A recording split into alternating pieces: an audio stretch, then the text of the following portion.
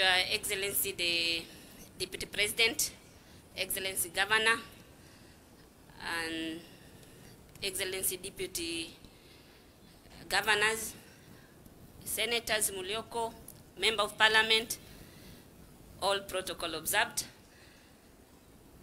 Uh, hamjambo.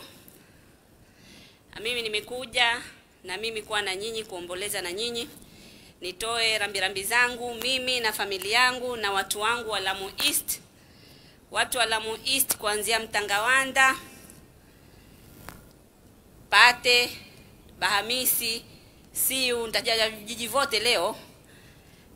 Akufikia hii Faza Ward mpaka Kizingitini, Basuba Ward vijiji vitano, Milimani, Kiangwi, Mararani, Basuba na, na Kiunga Ward kuanzia Ndau, Kiwayu, Mkokoni, Madina, Kiunga, Ishakani na Dar es Salaam Point. Hao ndio watu wa Lamu East wamenituma niwape pole zao.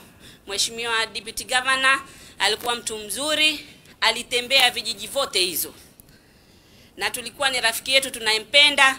Kwa ufupi tu nizungumze, tulikuwa marafiki watatu wakati eh, His Excellency Governor alivyotuangusha wakati ule, tulibidi out of crisis tukakaa Malindi, mimi na Deputy Governor marehemu na as, eh, Bishop wetu Zabedi alikuwa akija kutembelea na Wainaina, marafiki wanne, na 50% ya hawa wanne wameenda mbele ya Mwenyezi Mungu, tumebakia sisi wawili. Mimi naomba Mwenyezi Mungu, nimeingia uoga, wajua hii ni mafunzo,